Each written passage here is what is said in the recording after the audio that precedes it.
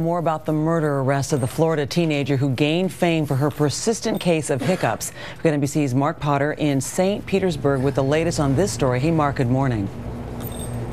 And good morning to you, Ann. This case can be seen as a tragedy on several levels. Certainly for the family of the victim, also for Jennifer Mee's family. She now sits in jail, facing a very serious charge. I'm worried about my daughter right now, and I'd like some privacy. Leaving the courthouse in Clearwater, Florida, Jennifer Mee's mother seems stunned by the murder charge facing her daughter. Mee appeared by video before a judge Monday afternoon. Ms. Mee, the allegation is murder in the first degree. I do find probable cause. Your bond is currently zero. 19-year-old Mee, 20-year-old LaRon Rayford, and 22-year-old Lamont Newton are accused of first-degree felony murder for the death of 22-year-old Shannon Griffin. Miss Mee and the uh, Mr. Rayford and Mr. Newton all made several admissions to the fact that they, this was a setup, it was a robbery, and it was a robbery gone awry. Police say Mee lured Griffin to a house to be robbed, but when a scuffle broke out, Griffin was shot and killed. This handgun recovered from the scene.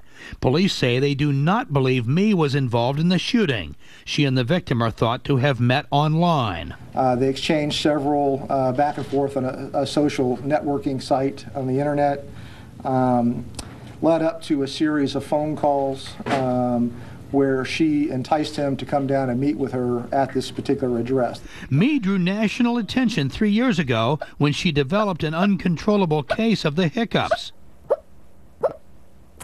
She appeared multiple times on Today. It's not funny, is not it? No more, it's not. No. Not at all. On a radio program Monday, her mother said her daughter's fame caused her problems with people she met.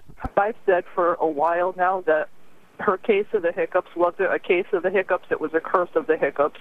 And you know Jennifer as well as I do. She's a lovable, sweet little girl that would not hurt a fly, and where things went wrong, I don't know.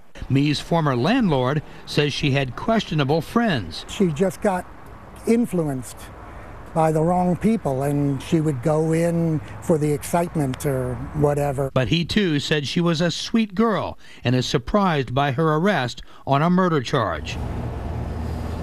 And police say even though they don't believe Mee pulled the trigger, her alleged involvement in the original felony, the armed robbery in which a man was killed, is why she too, under Florida law, faces a murder charge. Mee has now hired an attorney, but he has not yet spoken publicly about this case. And all right, Mark Potter. Mark, thanks.